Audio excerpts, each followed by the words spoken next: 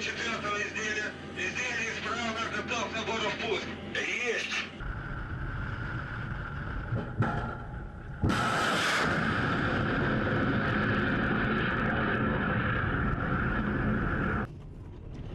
Супероружие в действии. Новая российская гиперзвуковая противокорабельная ракета «Циркон» достигла на испытаниях восьми скоростей звука. Об этом сообщил источник в оборонно-промышленном комплексе.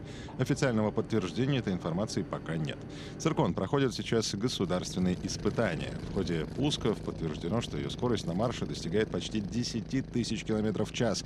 Она запускается из универсальных установок, которые также используются для ракет «Калибр» и «Оникс».